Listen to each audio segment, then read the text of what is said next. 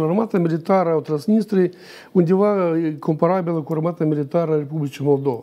Deci are undeva personal care nu depășește 6-7 mii de soldați. Atât, atât și soldații care nu sunt contractici, dar sunt care în termen. Copii de 18-19 ani. Deci, dispus că această armată prezintă un pericol mare pentru fie Federația Rusă, fie Ucraina, asta pur și simplu nu este serios. Da, oricum, orice soldat prezintă uh, pericol oricare, mai ales când este vorba de soldați ruși, care, într-adevăr, acolo este un contingent, un contingent militar de Federației Ruse, care asigură pază la depozitul acela militar faimos de la Călbasna, unde stau mii și mii și mii de tone de substanțe explozive și care în orice moment pot să explodeze, cel puțin acest pericol nu poate fi exclus și e că ei și, și chipurile îl păzesc. Deci eu, mi e greu de presupus că ei să lasă depozitele acestea și urgent să, să înceapă să atace Ucraina. Chiar, chiar nu cred eu în ipoteza aceasta, să trebuie să fie prea, să ai prea bogată uh, uh, imaginație ca să uh, presupui așa ceva. Nu este așa ceva, nu, nu, nu există. Alt lucru, cum eu am spus în prima parte, că există o partidă a războiului Există partidul războiului care dorește, asta, asta e întrebare interesantă, care dorește dezghețarea acestui conflict. Dezghețarea acestui conflict. Eu nu am răspuns la această întrebare, dar eu repet iarăși, și Moldova, și Transnistria, și Ucraina au posibilități operative, posibilități de recunoaștere, dacă doriți, foarte serioase. Și dacă să vrei, a să afle cine stă acolo. Un partid al războiului, al războiului spune domnul Pavlovski, domnul Tăbărță, dumneavoastră împărtășiți aceeași opinii? În regiunea transnistreană nu prea cred că este mare dorință de a, a se lupta. Și vedem clar că oligarhul numărul unu al, al regiunii Gușan nici de cum nu-și dorește acest uh, război. Cine este mai bătăios așa în declarații și mai acid este așa numit ministrul de externe al regiunii, domnul Ignatiev. El vine în permanent cu uh, săgeți destul de acide, cel mai interesant mai mult la adresa Republicii Moldova decât la adresa Ucrainei.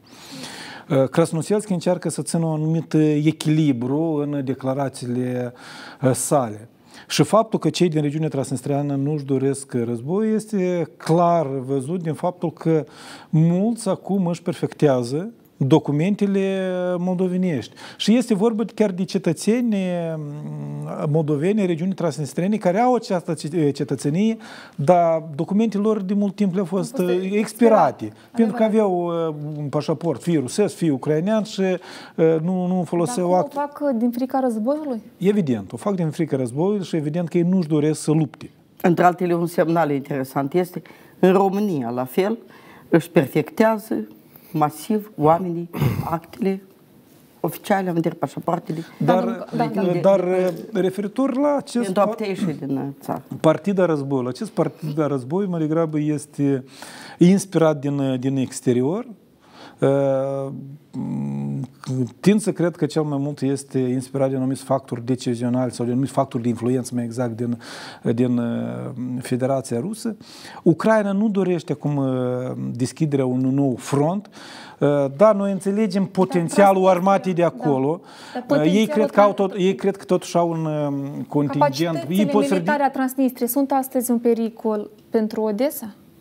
Ele pot fi un, un pericol doar dacă încep operațiuni militare în Odessa. Nu că cum se bombardează, dar nume să înceapă războiul în regiunea Odessa. Atunci poate în, pentru o anumită operațiune militară acest contingent poate fi folosit. Este clar că această armată din regiunea Transnistreană sau aceste structuri care de fapt cred că s-ar ridica mai mult, chiar la 10, poate erau și estimări la 15.000 cu rezerviști și cu... Dar uh, ei să atace Ucraina nu au potențialul. Mai ales că Ucraina s-a văzut că are o armată destul de performantă. Din 2014 până acum, ei s-au pregătit, ei s-au întărit, ei s-au echipat, spre deosebire apropo de armata rusă.